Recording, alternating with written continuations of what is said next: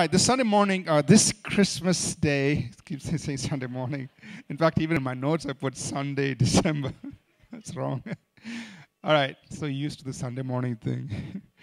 Uh, so, this Christmas day, this morning, uh, as we take time to think about the birth of the Lord Jesus Christ, I want us to talk about or think about a very important aspect about the birth of Jesus and then basically ask one question and then try to answer that one question.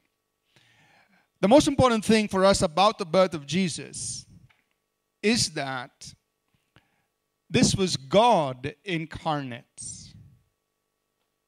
This was God who became man. Emmanuel, God with us. The most important thing. If we miss that, we've missed everything else. You can talk about the shepherds, the kings, and everybody else that came to attend uh, the birthplace. But hey, if you forget that this baby, this Jesus that we're talking about is actually God incarnate, then we've missed everything. And there are many places in Scripture where this truth is presented to us that Jesus Christ who was born in the earth 2,000 years ago, whose birth we are taking time to celebrate, was really God who became man in several places. And I just want to reference two, just read two passages out for you and me this morning. There are many more in the Bible.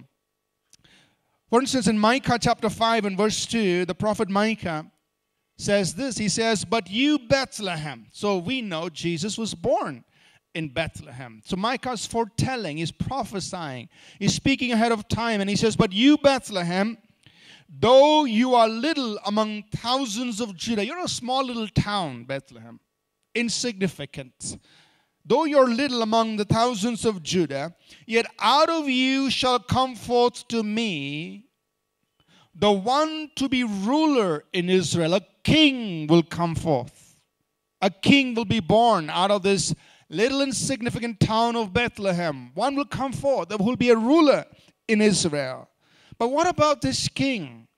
The prophet continues to say, whose goings forth are from of old, from everlasting. His origins, or he, this king, is not somebody who who began in time, he was already there from everlasting. So Micah is saying a king is going to be born coming out of Bethlehem, a king who was always there from everlasting. Not somebody who started in time, but what always eternally existed. Another powerful passage is there in the New Testament in Philippians chapter 2, verses 6 through 11. Just want to read that for us. And I'm reading it from the contemporary English version. Verse 6 Christ was truly God, but he did not try to remain equal with God. Instead, he gave up everything and became a slave. When he became like one of us, Christ was humble he obeyed God and even died on a cross. Then God gave Christ the highest place and honored his name above all others. So at the name of Jesus, everyone will bow down, those in heaven, on earth, and under the earth. And to the glory of God the Father, everyone will openly agree Jesus Christ is Lord. So, who was Christ? He, he begins by saying, Christ was truly God. And but he became a man. He became a man to the point of becoming a slave, becoming like one of us. And he obeyed, he submitted, and he even died on a cross. So, the question, one singular question that I want us to consider this Christmas day is this why would God need to become a man? Why? What's the big point of this whole thing? or if you want to use a technical term, why? What is the reason for the incarnation? Incarnation, God becoming a man. What's the point? What's the purpose behind this? Why? Why the incarnation? And related to this question, we can ask several other questions, which hopefully we will answer this morning as we share. You know, why would God need to come to the earth as a human person? And why come as a feeble human being? Why couldn't God show up as God on earth? Now, we all like that Star Wars craze, the Force. Who's in charge of the galaxies? you know? I mean, why couldn't God show up as God? There would be no mistake, no arguments, no debates, nothing. God came, here he is, no questions asked. It'd be so simple for all of us. Why did he have to come as a feeble human being, born in a, as a baby in a manger, be cared for by his mother? I mean, isn't that pretty embarrassing? For God to be cared for? Why did he have to walk as a man in a human body? Why? And then, why a gruesome cross? I mean, as we read in the passage, truly God, becoming man, becoming a slave, becoming obedient, and even dying on a cross. Why a gruesome cross? Now, if you and I say, well, the reason God came into this world is to save us sinners, I mean, could he not have done it some less gruesome way? Could he not have just said, okay, guys, I love you all, I just forgive you, peace be unto you, see you later? I mean, why the cross? What's the big deal? And it's so gruesome. Blood. Why? And, well, he died in time. So, what about people before? And what about people after? You and me living 2,000 years ago. I mean, why would it matter? God coming 2,000 years ago. How can it impact me today? How can it impact you today? What about before and after? And uh, would God need to? What about other people groups, other groups of people? I mean, it's pretty obvious he came to a small group of people in the Middle East. But what about all the other groups of people on all the other continents? What about them having their incarnation of God? Would that be necessary? Isn't that very partial that one small group in the Middle East has an incarnation of God. What about all the other groups of people in the world? And then what about if he came back then, does he need to keep coming over and over and over again in time? Does God need to come multiple times? Does he need to incarnate multiple times? Because, you know, modern day, okay, maybe comes in a modern way, using an iPhone and, hey, to relate to us. Does he need to come multiple times? Is there a need for that? So, in answering this one question, why would there be a need for God to incarnate? We can have all of these other questions related to it, and hopefully, we'll try to cover that. But before we just get into trying to answer that, I want to just say this that there is a lot of scripture behind all of this.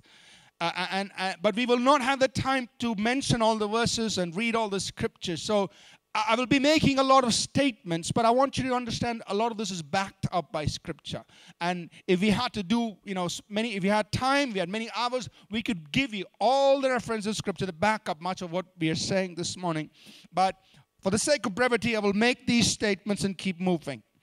So let's start at the very beginning, or maybe before the beginning.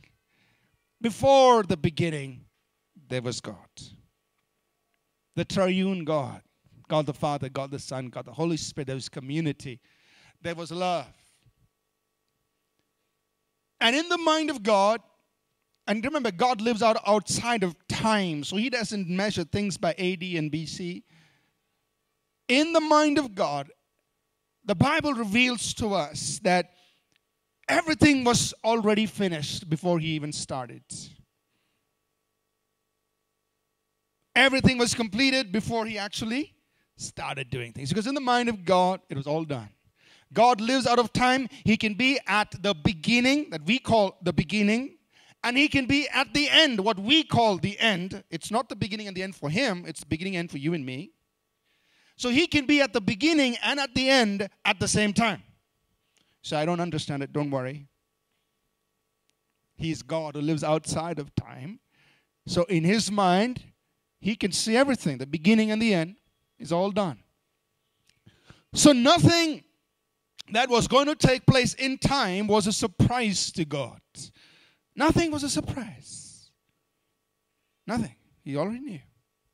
So the Bible says things like, even before the foundation of the world, the cross was determined. Even before the foundation of the world, the Lamb's Book of Life was written, the names of people. Even before the foundation of the world, He predetermined what kind of people He wants to have people who would be His sons and daughters. Even before the foundation of the world, He decided to have a people who will stand before Him clothed with His love, just bathed in His love, nothing uh, inhibiting them from relating to Him. That's all He, that's everything He had already in His mind. He determined that's what I'm going to do. Now, even the whole journey to get there, it may seem a long time for you and me. God, 6,000 years. God, this is taking a long time. Why don't you wrap it up quickly? But the Bible says a thousand years is like one day for God. So while it seems a long time for you and me, for God, it's nothing. It's nothing for God. He's not getting old, growing a long beard. no. He's outside of time. And so for him, this is nothing. And he knows what he's going to have. He's going to have a people who are righteous, holy, blameless, just sons and daughters in his love. He knows that. So everything was completed before he started. So now we come to the beginning. So in the beginning, God created everything. He created man and woman, as the Bible describes in the book of Genesis. And they were in perfect fellowship, perfect communion with Him. They could relate to Him, nothing between them and God. And God would walk in the garden in the cool of the day. Imagine God showing up in your office. It was perfect communion, this fellowship. And, and so God would be there. There was, there was perfect communion. And, and man and woman uh, was created, were created in the image of God to represent God on the earth, and He endowed them with the authority to, to, to, to take over the earth, to subdue, to multiply, to fill the earth, to make it beautiful. And, and, and that was their commission on the earth. But then we also understand that God created man as free moral beings. That you and I have a free will that was given to man right there in the Garden of Eden free moral beings. We could, we could choose to do what we wanted to do. And God, in His sovereignty, decided to actually release you and me to do whatever we wanted to do. And he was losing none of his sovereignty when he said, I'm giving you a free will so that you make the choice you want. It's not going to make me any less God. That's how secure God was in who he is. That he could say, You do whatever you want. I'm giving you free will. It'll not undermine my sovereignty in any way. So God's sovereignty is not his insecurity. God's sovereignty is his security in himself. That he would so endow man with free will, saying, You choose, you decide, you do anything you want on the earth. I will not override your will. Freedom. And that's why in the garden, when they disobeyed God, God didn't make the tree suddenly grow taller. Eve can't reach it. I mean, you know, we can, as little kids, we can try to imagine. Why didn't God do that? Why didn't he just make the, the fruit suddenly disappear? Eve's going to reach. God, sorry. I mean, he, he could have saved himself all this trouble. But no, he'd given you and me sovereignty, a free will. In his sovereignty, he'd given you and me free will. Do whatever you please. Because he's expecting that free will to come back to Him and say, I worship you, I recognize who you are. Out of my own free will, I recognize you. Or out of my own free will, I can go and just do whatever I want, say whatever I want. He's not going to hold, hold us back. And so we understand from scriptures that man and woman, Adam and Eve, they sinned, disobeyed God. And then came in all the consequences of sin. Sin separates us from God. Sin coming in through one man passed upon the entire human race from all those who were born after that. You're all born in sin. And sin becomes this big barrier between God and man. So we try to reach God, but there's this barrier of sin because God is so holy, He's so pure. And the sin actually separates us from God. It becomes a barrier. Sin hinders the flow of the blessings of God in our lives, the Bible tells us. God wants to bless us, but there is this barrier called sin. And ultimately, the Bible says that the result of sin is death. That means we are going to be eternally separated from God in hell until and unmoved between us and God. Eternally separated from God. Now, man is making attempts to reach God, has always made attempts to reach God, but futile. There is eternity, the Bible says, in every person's heart. There's something in every person that longs for eternity, the eternal. Now we can sear our own conscience over time and tell ourselves, there is no God. That doesn't make God go away. There is no eternity. That doesn't make eternity go away. But we can sear our own conscience and deceive our own selves if we like to. And God's not going to stop us from that.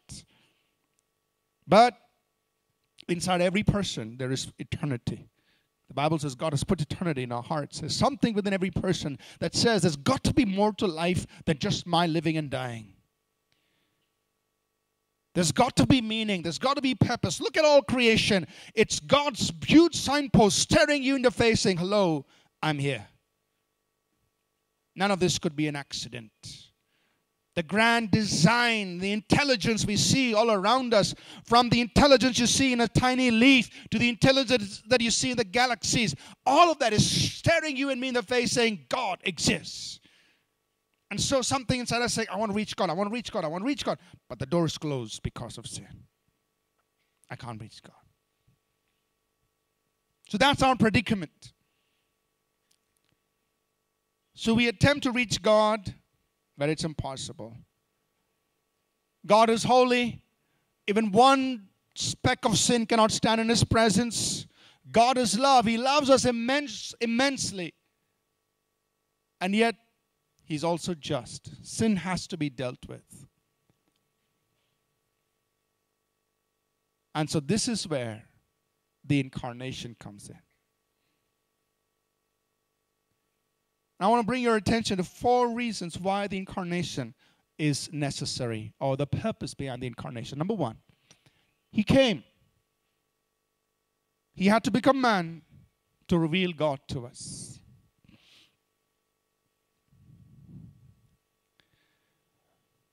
Man was trying to decide or understand what God looks like.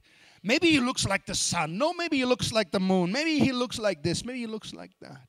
So we all, in our own imaginations, we're trying to figure out what does God really look like. Maybe he's a really angry God. No, no, no, he's a really good God. Maybe he's a mad God. No, he's a bad God. Ah, all kinds of things about God.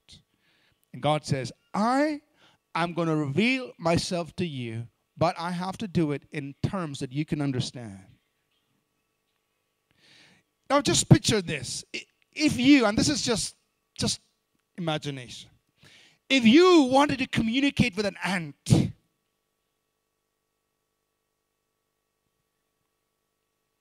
what is the best way to do it? Become an ant. Forget all about your science and technology. Ants don't understand that. Forget about all your intelligence. Ants don't can't understand it. The only way that you can communicate with an ant is to become an ant. Now, this is a very poor example, but magnify this example infinite times. That's what God decided to do. I got to communicate with these people. The only way I can speak to them is become like one of them. And this is God Almighty, infinite God, having to speak your language and mine, reveal who He is to you and me, but He has to do it in terms that you and I can relate to. And so, He says, okay, I'll put on a body that they can see, handle, touch. I will speak their language, I will walk amongst them. The Bible says that this Jesus was born, he is the image of the invisible God. Hebrews says he is the exact image of the unseen God, the shining out of his glory. And yet, for this God to become a man, he, the human body could not contain, cannot contain the infiniteness of God. How do you compress infinity into something that's finite? You can't.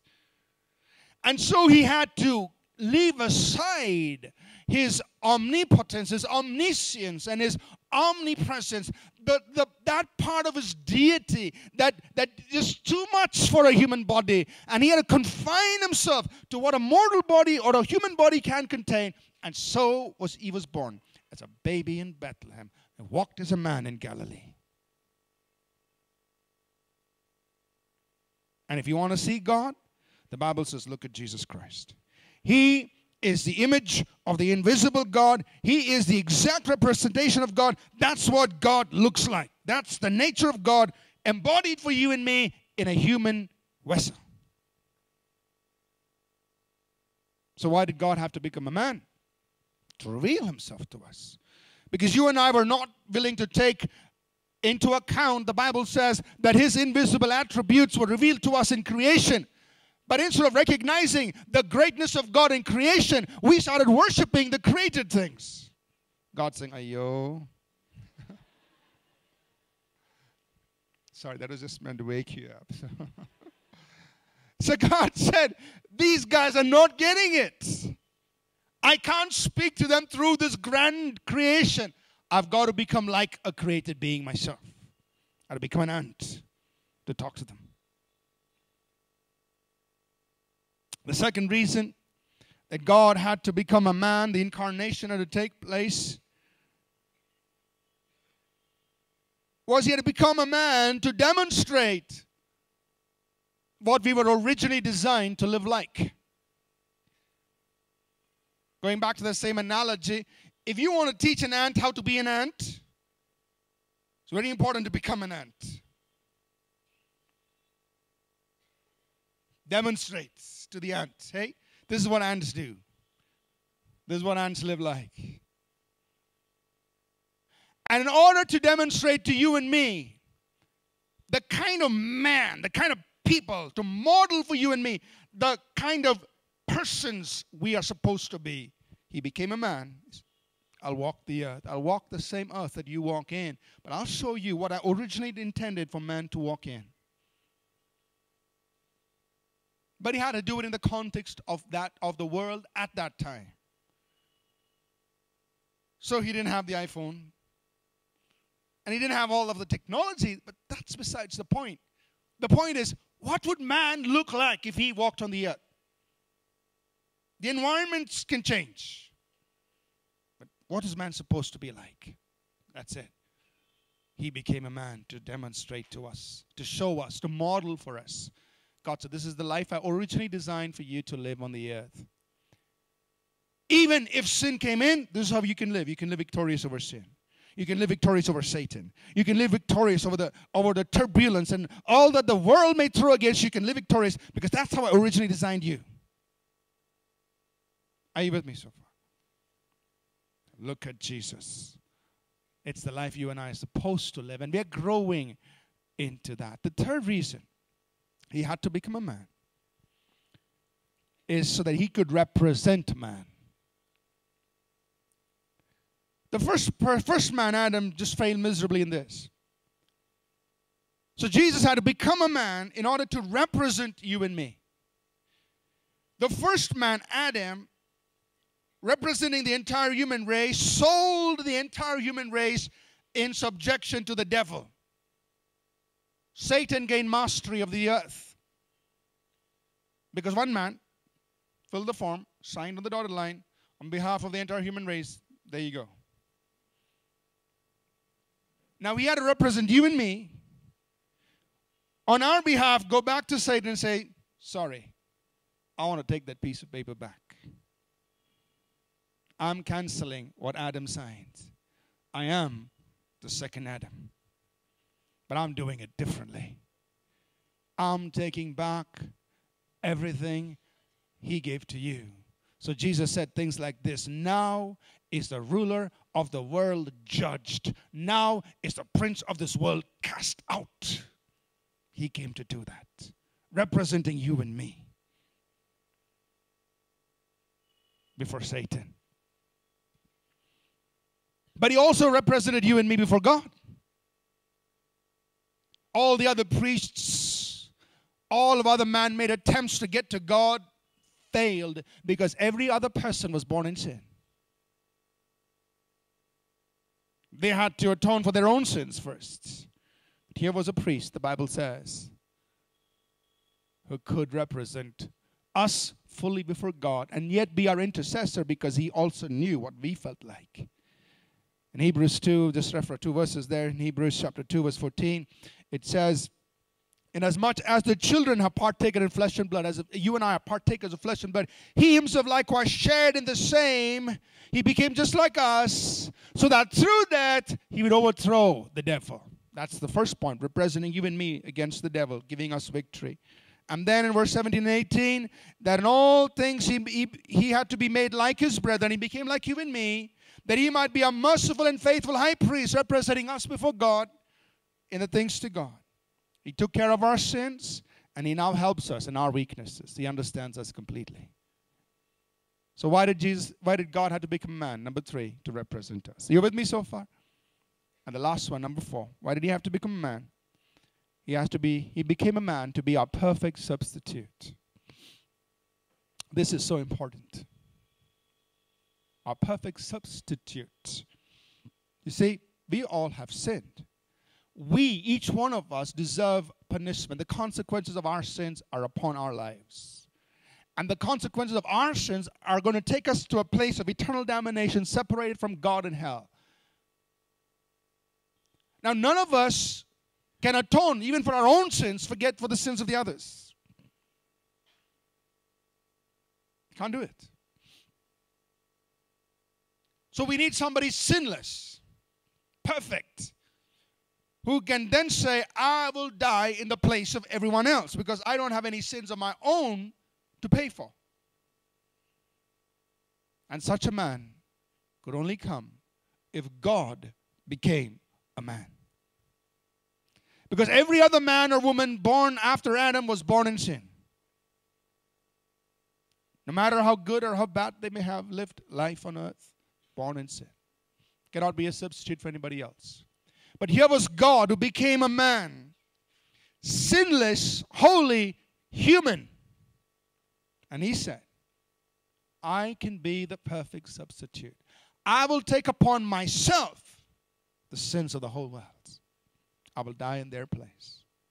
Put upon me the sins of the whole world. And only he could do that because he was without sin, because he was God who walked as a man the perfect substitute. No other man, no other woman could ever do that. That's why in Romans 5, the Bible says, verse 18 19, through one man's offense, that is Adam, he sinned. But what did that result in? Judgment came on all men, resulting in condemnation. But through one man's righteous act,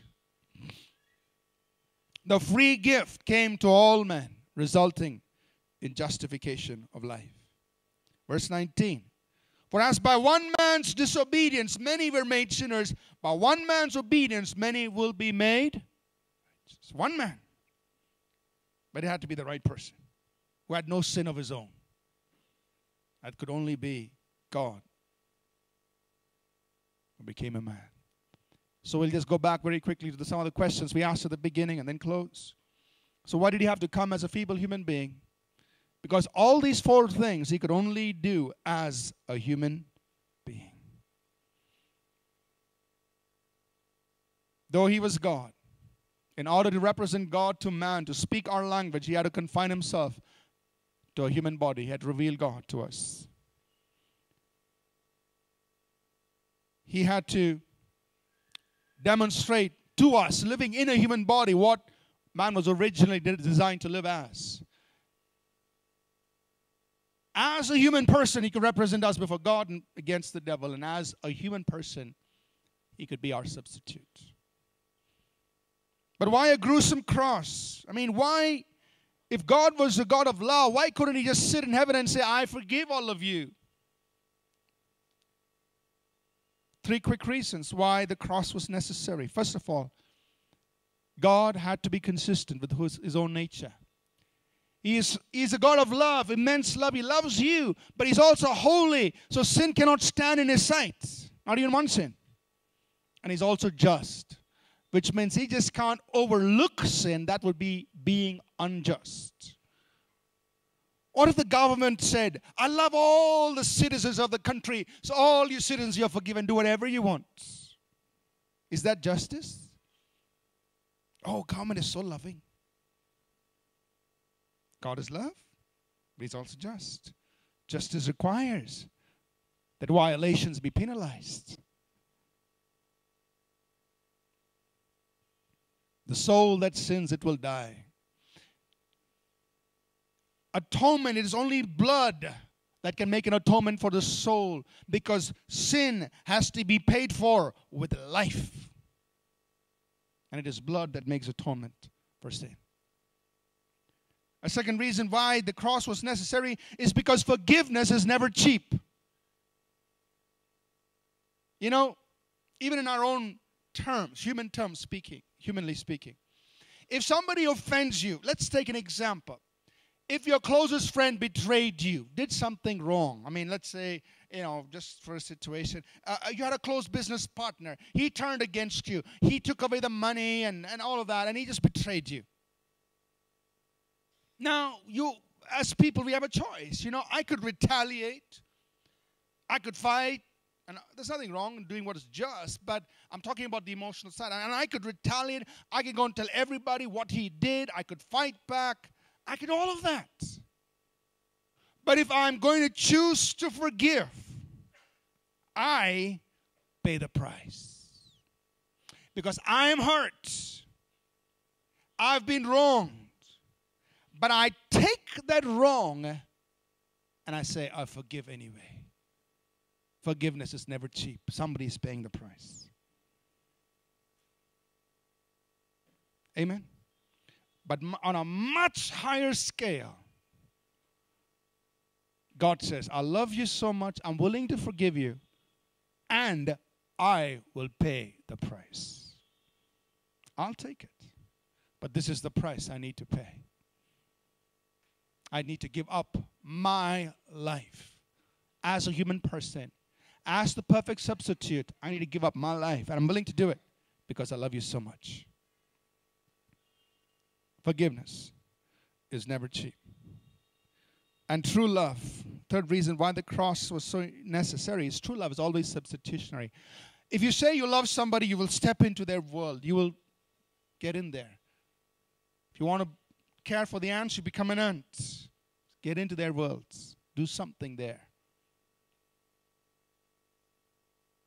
And that's how God demonstrated his love for us coming into this world. What about before and after?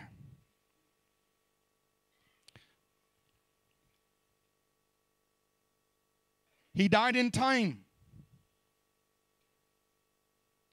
I've just used a simple example. Suppose you you were using your credit card for two months and you spent 2x amount of rupees. And the credit card was in your hand, you have six months, four months more. But somewhere along the way, your dad pays 10x. And the next four months, you ring up another, I don't know, another 3x, whatever. But that 10x has paid everything before and after. It's all paid. Not saying go try it.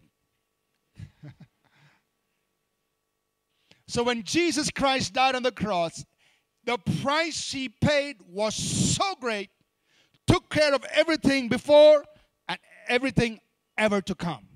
Paid in full.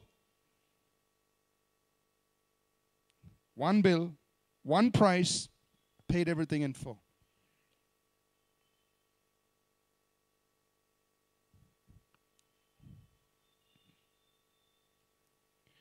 What about other groups of people? So, does every group deserve its own personal incarnation of God? Just because one group in the Middle East received theirs? The Bible is very clear that Jesus didn't come just for the Jews.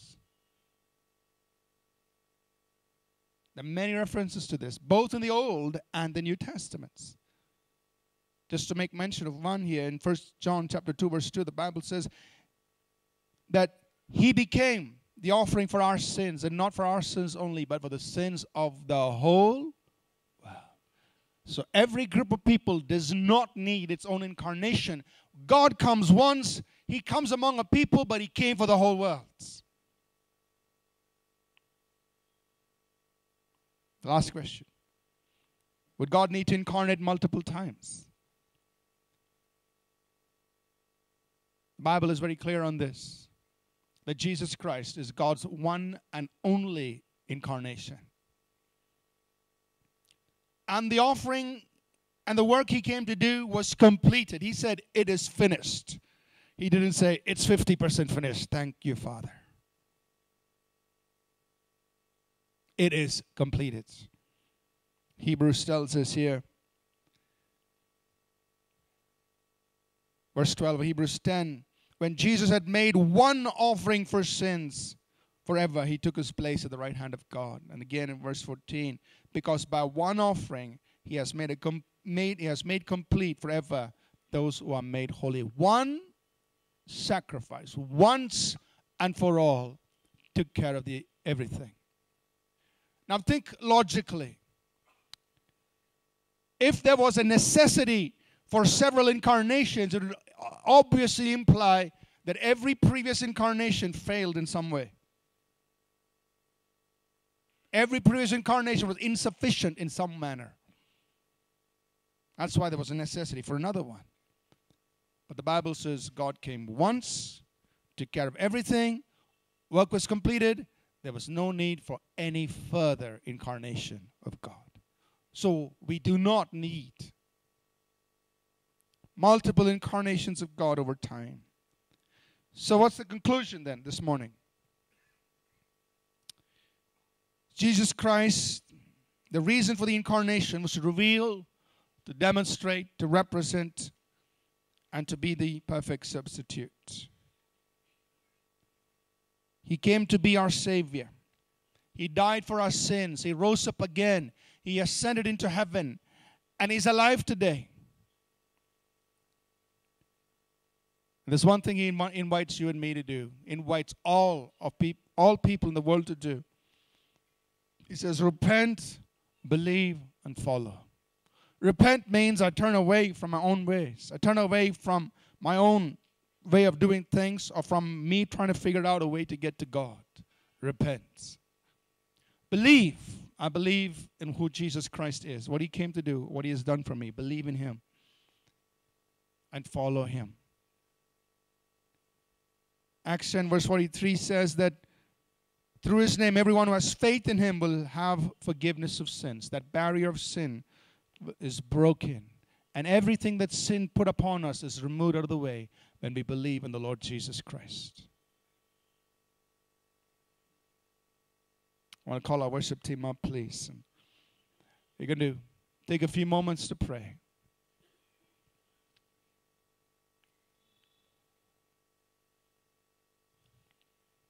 This Christmas season, we've looked at the reason for the incarnation. Why did God have to come? He came for you, He came for me. To do something we could not do for ourselves. To do something that no other human being can do for you and me. Came to take away sin, bring us into this relationship with God, enable us to live life the way God wants us to live in our context today. He came to bring us into that relationship with God. And He did it by being a man, becoming a man, living on earth, and dying on the cross for you and me. Could we rise to our feet, please? This morning, I want you to take a few moments just to reflect on what we heard. There might be some amongst us this morning where you have never personally decided in your heart that I'm going to repent, I'm going to turn away from my own ways, and I'm going to believe in the Lord Jesus Christ, and I'm going to follow Him. Maybe you never made that decision. The Bible calls us to make such a decision. And if we've never done it, we need to do it in our lives. We, at some point in our lives, say, Lord, I'm turning away from my own ways. I'm going to believe in Jesus, God who became man. I'm going to read his word. I'm going to read his teachings. And I'm going to f- try and follow that. I'm going to live by that. But Jesus is going to be the center of my life. There might be some amongst us who's never done that, and I want to help you do that this morning. We want to pray with you, help you do that.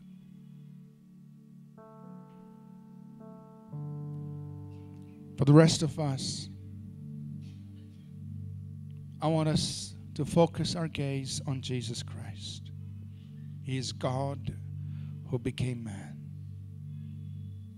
To reveal God to us. If you want to know what God is like, Look at Jesus. Abraham is good.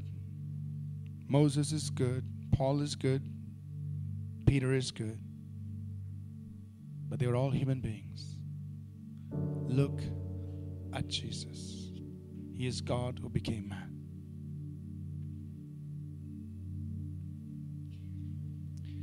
If you want to know how we are to live our lives, look at Jesus. He came to demonstrate what it means to walk as children of God. Let's grow into that. We are not perfect, but we have to grow into that model. So, would you pray and say, God, help me to grow into that?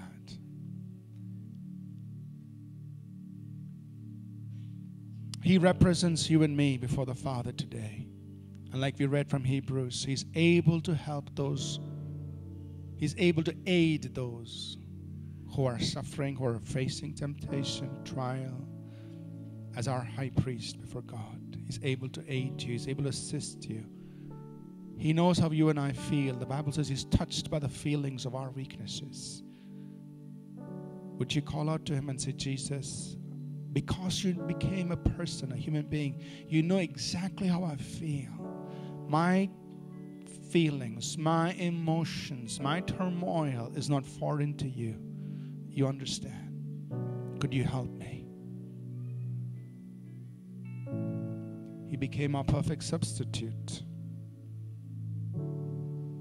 Would you thank Him for it?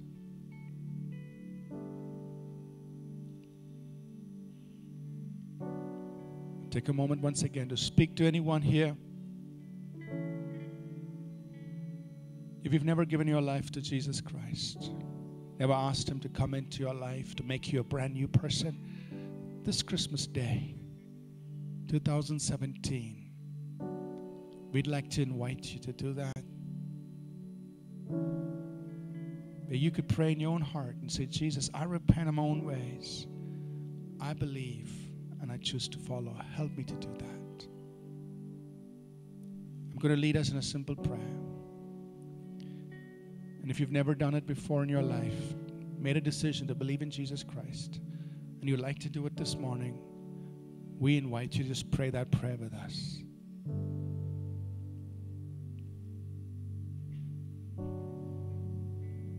If you've never done this before, I want to invite you to say this prayer with me, please. Lord Jesus, I am a sinner. Thank you that you came into this world for me.